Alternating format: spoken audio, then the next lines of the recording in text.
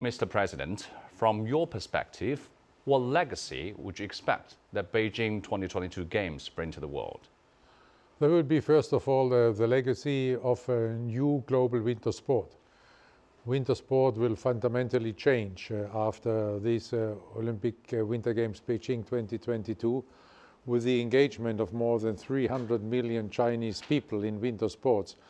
This is an amazing uh, figure and uh, it offers a huge potential uh, for uh, the winter sports and for the international winter sports federations. And mm-hmm. i'm very happy to hear that many have uh, already reached agreements uh, with their chinese uh, counterparts to follow up and to make this really a sustainable boom and not just an olympic boom